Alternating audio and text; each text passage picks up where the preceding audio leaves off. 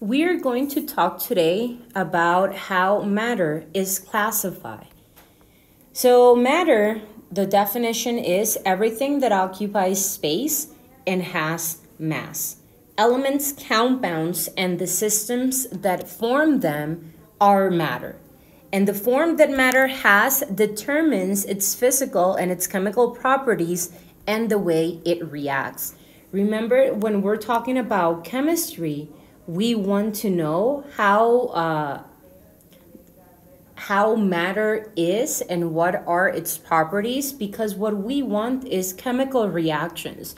And we want chemical reactions because we want new products right? So we want to make new products that make our life easier. That's why in chemistry we study matter matter can be divided like this. And, and this is a simplistic view. I know that you will have many more ways of dividing it, but this is a simplified form. It can be divided into substances, and those substances can be divided into elements and compounds.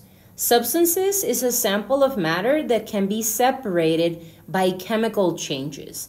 And substances can be divided into elements that it is what we find in the periodic table and it can be divided into compounds. When elements react and bond together, they make compounds. As an example, we have oxides, we have bases, acids, and we have salts. On the other hand, we have mixtures. It says mixtures contain two or more substances that maintain its chemical identity and can be separated by physical changes. Remember that substances can be separated by chemical changes. In mixtures, we have homogeneous mixtures. It says the composition is the same throughout.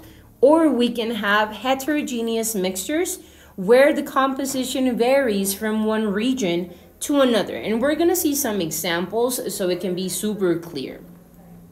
So let's start with substances. Sometimes they're called pure substances. It says they can't be separated by physical methods, and physical methods can be, for example, evaporating, it can be crystallizing,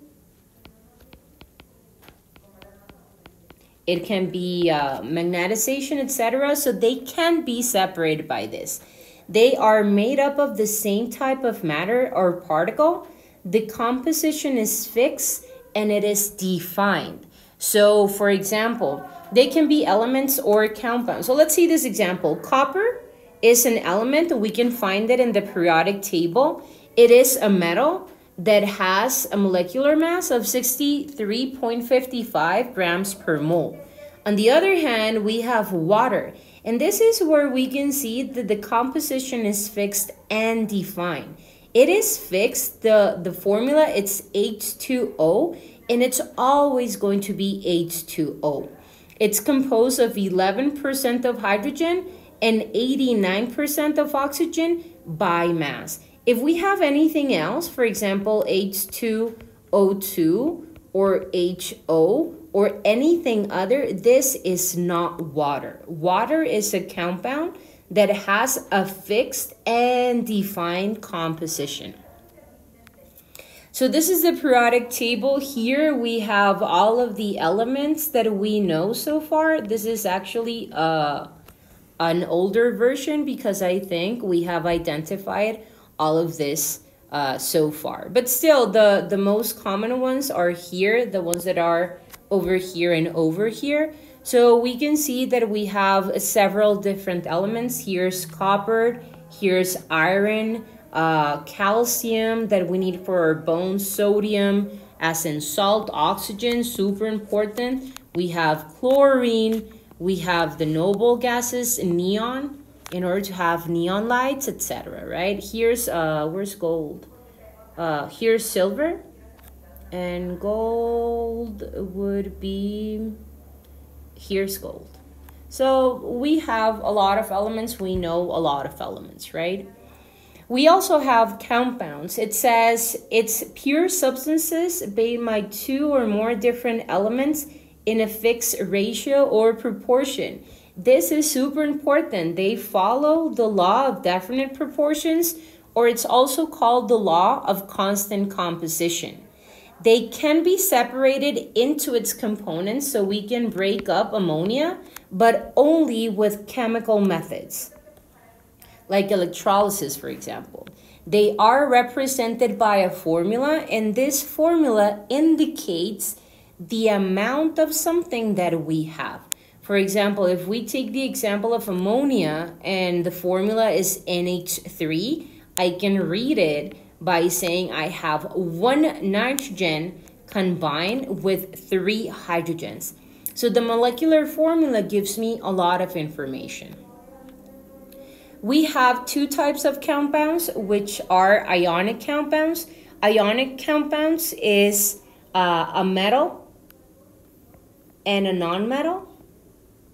And covalent co compounds, it's a nonmetal and a nonmetal, right? So some examples of ionic compounds. We have metallic salts like sodium chloride. This is table salt, we know it.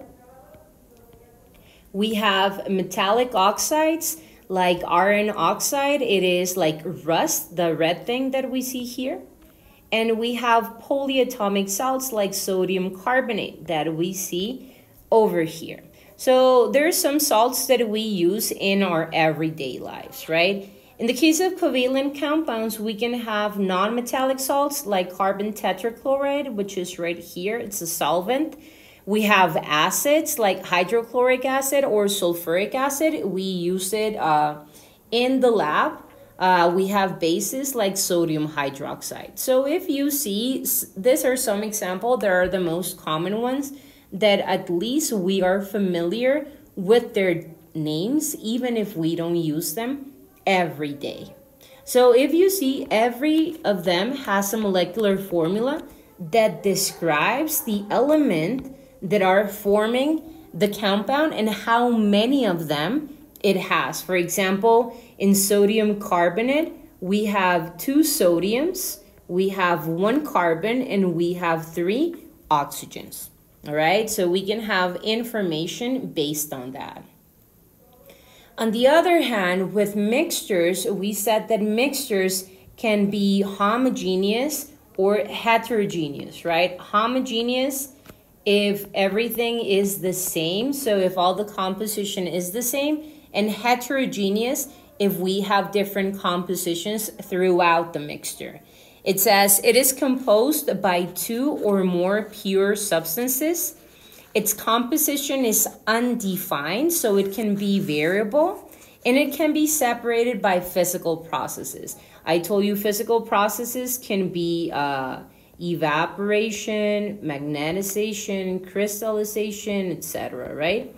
Examples of them are orange juice. Not all of the orange juices have the same compositions, some can have pulp, some can't have pulp, some can be sweeter, some can be more acidic, etc. For milk, we have whole milk, we have low fat, we have non-fat, we, we can have many different types of milk. And steel, you can see it's a solid mixture. So depending on the steel, on the grade of the steel, is the composition that it will have, right?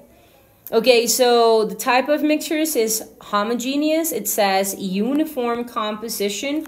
Homo means equal. It can be liquid, gaseous, or solid. Coffee is an excellent example of uh, homogeneous mixtures. We usually do not see the differences in our coffee, in our regular cup of coffee. For heterogeneous mixtures, we can have different phases. If you see here, you have something solid. Here you have something liquid, right? This is heterogeneous because we can actually see the differences in the phases. Hetero means different.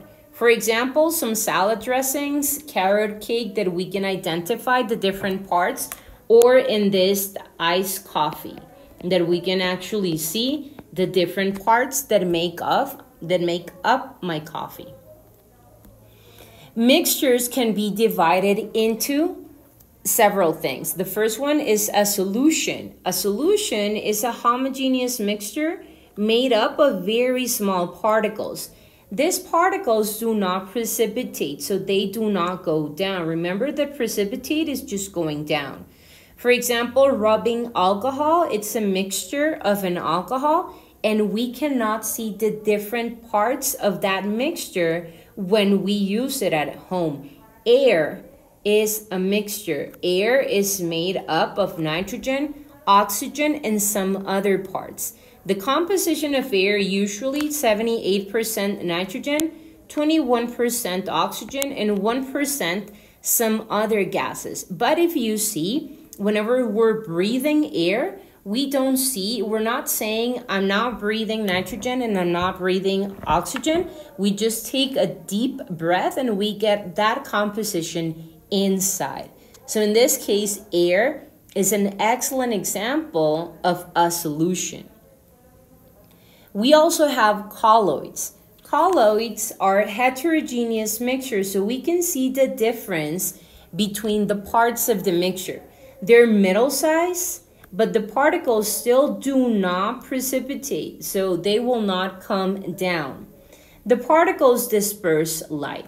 And the, the most the, the best example would be smoke or clouds. In this picture, in this picture, we can see here in the clouds, we can see the different particles because we see some particles that are wider than the others right? That is a colloid. What you see throughout a sun, uh, the sunlight in your window is colloids, but we never see those particles in the floor, right? Because they do not precipitate.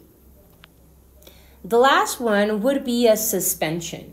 Suspension is also heterogeneous, so that means that we can identify the different compounds the particles are bigger and they do precipitate. And the best example would be some salad dressings, right? If we leave it on the fridge after we use it, we can see that the different compositions that we have. In this case, we have some oil. Here we may have some vinegar. And maybe at the bottom, we would have some solid particles like some herbs or some spices that go all the way down. That's why when we're using a salad dressing, we have to mix it before we use it. So some examples are orange juice salad dressing, that is what we see in the picture. Also some medicine. Uh, medicine that we put away in the fridge whenever we're taking our dose. We also have to mix it because sometimes the particle will just go to the bottom of the of the flask. So let's just do a brief summary of what is a mixture. It says it can be separated into their components by physical changes.